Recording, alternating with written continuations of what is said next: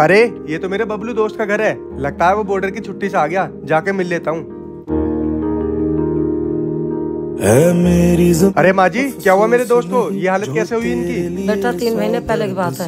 तिरंगा तो मिल गया अब एक काम करता हूँ इसे कहीं लगा देता हूँ. जल्दी खड़ा हो फौजी नहीं तो इस तिरंगे को फाड़ दूँगा। और इसकी याददाश्त चली गई। और बेटा डॉक्टर ने मना कर दी इनकी याददाश्त कभी नहीं आई। माँ जी मेरे पास एक उपाय है। क्या पता इनकी याददाश्त वापस आ जाए? क्या उपाय है? आपके पास तिरंगा है? हाँ तिरंगा मिल जाएगा। जाओ वो लेकर आ जाओ। हाँ अभी लेकर आती हूँ। ये लो बेटा तिरंगा।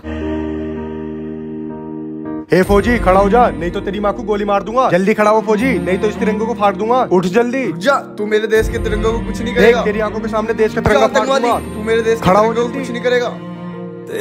तुम्हारे देश के तिरंगे को खाने जा रहा था। अरे मोहित तू तू तो मेरा दोस्त है। भाई तुम्हारी यादाश्त चली गई थी। तुम्हारी यादाश्त लाने के लिए ये सब करना पड़ा। वीडियो अच्छी लगे कमेंट में जय हिंद ज़रूर लिखें।